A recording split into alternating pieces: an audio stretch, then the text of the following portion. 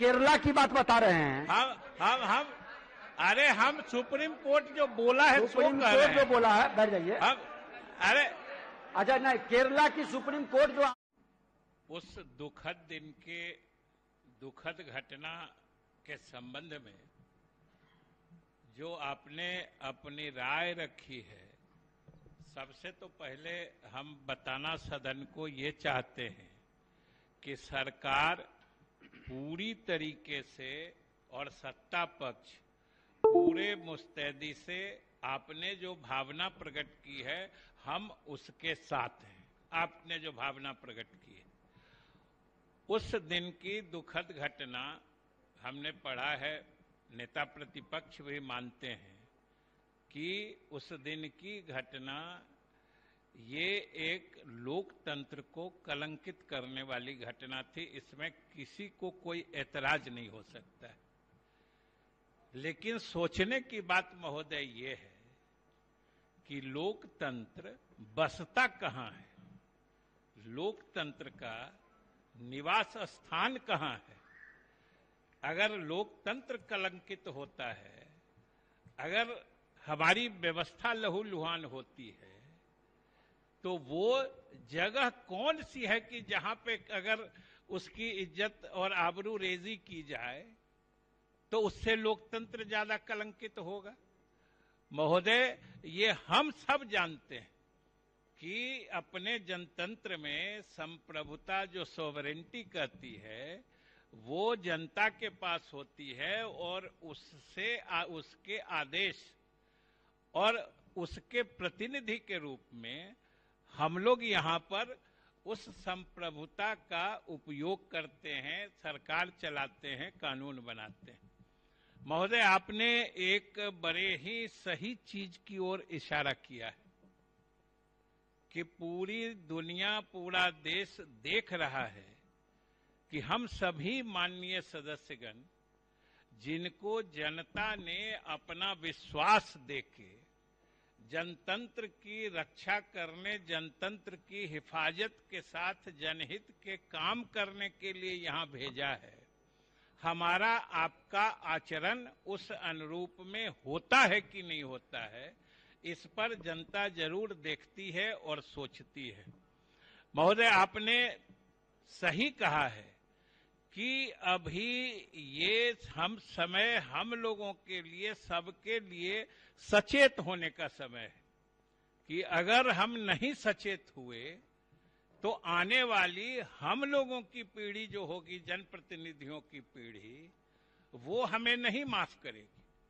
क्योंकि हम लोग अपने आचरण से सरकार के दूसरे अंगों को अपने कार्यों में हस्तक्षेप करने का मौका दे रहे। महोदय, अभी कुछ ही दिन पहले माननीय उच्चतम न्यायालय ने क्या कह दिया केरला के मामले में? महोदय, संविधान के अनुच्छेद 212 के तहत हमें पूर्ण निर्बंधनता है। जो हम यहाँ जो कुछ करेंगे, जो कुछ बोलेंगे, उसकी न्यायालय में समीक्षा नहीं की जा सकती है। ये संविधान ने हमको ये सेफ़ गार्ड और ये इम्यूनिटी दी है कि हम जो करेंगे, बोलेंगे, वो दूसरे नहीं पूछ सकते हैं कि आपने ऐसा क्यों बोला है। उसके लिए हम कहीं अकाउंटेबल नहीं है। अगर सदन के सदस्य अगर कहीं अकाउंटेबल है तो या तो इस आसन के प्रति, नहीं तो फिर जनता के प्रति। लेकिन उच्चतम न्यायालय ने अभी दस दिन पहले की बात है, उसने क्या कह दिया केरल के मामले में कि हम आपकी इम्यूनिटी मानते हैं, लेकिन वो स्वतंत्रता आपको किसी विषय पर अपने विचार रखने के लिए, विमर्श करने के लिए है वाद विवाद करने के लिए है अपनी राय रखने के लिए। है लेकिन अगर आप सदन में कोई आपराधिक कृत्य करते हैं या कोई नियम तोड़ने का कृत्य करते हैं तो आप नियम तोड़ के आपराधिक कृत्य करके संविधान के उस क्या? नहीं हम आपको नहीं कह रहे हम आपको नहीं कह रहे। की बात बता रहे हैं ये केरला की माननीय नेता प्रतिपक्ष ये केरला की बात बता रहे हैं। हम हम हम अरे हम सुप्रीम कोर्ट जो बोला है सुप्रीम कोर्ट जो बोला है बैठ जाइए। हम अरे अच्छा नहीं केरला की सुप्रीम कोर्ट जो आदेश दिया उस पर ही बोल रहे हैं बैठ जाइए ना। हम हम सुप्रीम आप आप हम आप नहीं बैठ जाइए बोलने दीजिए बोलने दीजिए एक मिनट बैठ आपको नहीं एक मिनट इनके बाद आपको एक मिनट देंगे बैठ जाइए बैठ जाइए आप बैठ जाइए दीजिए। महोदय हमने ये नहीं कहा कि किसी माननीय सदस्य ने यहाँ विधानसभा में कोई आपराधिक कृत्य किया है हम तो सिर्फ़ सुप्रीम कोर्ट के केरला के मामले में जो उसकी टिप्पणी है जो ऑब्जर्वेशन है हम उसको कोट कर रहे थे। हम अभी तक कहाँ कहा है? हमने कि यहाँ पर किसी ने आपराधिक आपराधिक चरित्र के है। महोदय? माननीय सदस्य और गंभीरता से सुनिए ध्यान से। एक चीज़ बता दें कि जो अनुभव वरीय लोगों का है नए सभी लोगों को ध्यान से सुनना चाहिए। और आलम जी? और महोदय उस और उसके तहत उसने ये भी कहा है हम तो सिर्फ़ माननीय नेता प्रतिपक्ष नेता प्रतिपक्ष। नेता प्रतिपक्ष। आप ही आप ही को हम कह रहे हैं कि हम तो सिर्फ़ ये इशारा कर रहे हैं कि हमको घेरने के लिए कहाँ कहाँ से हाथें बढ़ रही हैं उंगलियाँ उठ रही हैं। सचेत हमको होना है। सुप्रीम कोर्ट ने उसी मामले में महोदय कह दिया कि इस सदन के अंदर ये कुर्सी, टेबल, आसन, माइक, ये जितनी चीज़ें हैं, ये सब पब्लिक प्रॉपर्टी है। ये सब सरकार के पैसे से बनी हुई चीज़ें हैं। और अगर इनको नुकसान होता है तो डैमेज टू पब्लिक प्रॉपर्टी में जो धाराएँ लगती हैं, वो सदन के अंदर भी अगर माननीय सदस्य ऐसा कृत्य करते हैं तो वो धाराएँ उन पर लगेगी और उसका मामला बनेगा हम तो सिर्फ़ सचेत कर रहे कि देखना, सोचना ये है महोदय कि हम अपने लोकतंत्र और अपने विधायिका की इज़्ज़त किस तरफ़ ले जाना चाहते हैं। कि लोग हमें श्रद्धा की नज़र से देखें या लोग हम पर आईपीसी सीआरपीसी की दफ़ा लगाने के लिए हम लोगों को नज़र देखें।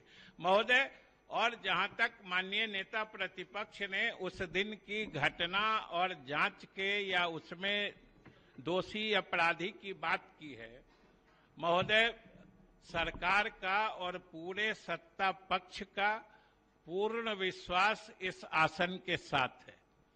और उस दिन चाहे सदन के अंदर जो घटनाएँ घटी या सदन के बाहर जो घटनाएँ घटी, संजोग से सभी कुछ बाहर भी व्हाइट लाइन के अंदर है, जो बिल्कुल आपके विशिष्ट क्षेत्राधिकार में है।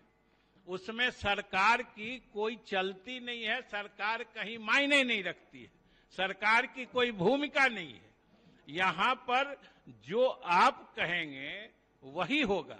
और हमने पहले भी कहा है हमने पहले भी कहा है कि सरकार पूरे विश्वास के साथ और में अंत में महोदय हम यही कहेंगे कि हमारे बहुत सारे अरे घबरा कह रहे? हैं हमको ऐसी बात तो कह नहीं रहे।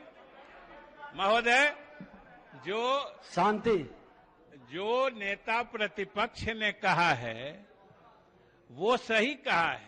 सारी चीज़ें आपके संज्ञान में है।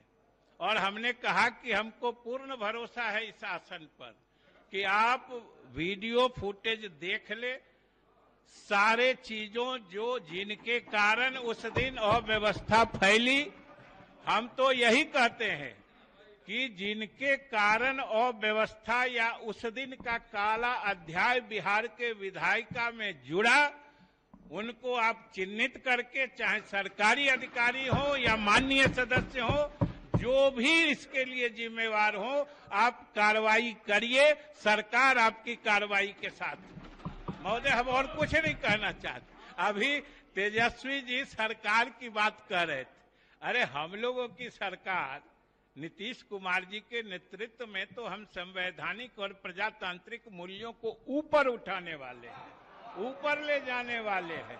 हम लोग हम लोग कोई नीचे ले जाने वाले नहीं है महोदय।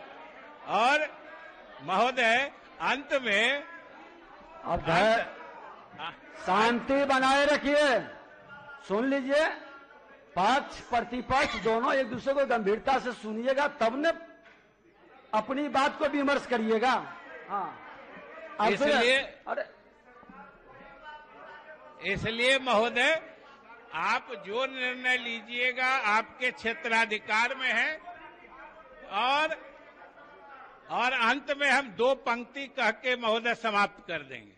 ये अंतिम अंतिम दो पंक्ति है। ये सार है। जो है? सार में। वो सार है। आपने जो कहा तो सार है। कि हम लोग तो ये चमन जो है प्रजातंत्र का जमहूरियत का ये गुलशन जो है जिसमें हम सभी फूल खिलते हैं कि चमन को सींचने में पत्तियाँ कुछ झड़ गई होंगी। चमन को सींचने में पत्तियाँ कुछ झड़ गई होगी। यही इल्ज़ाम है हम पर बेवफाई का। मगर, महोदय, मगर चमन को रौद डाला जिनने अपने पैरों से वही दावा करे है इस चमन के रहनुमाई का। एक अध्यक्ष महोदय। अध्यक्ष महोदय।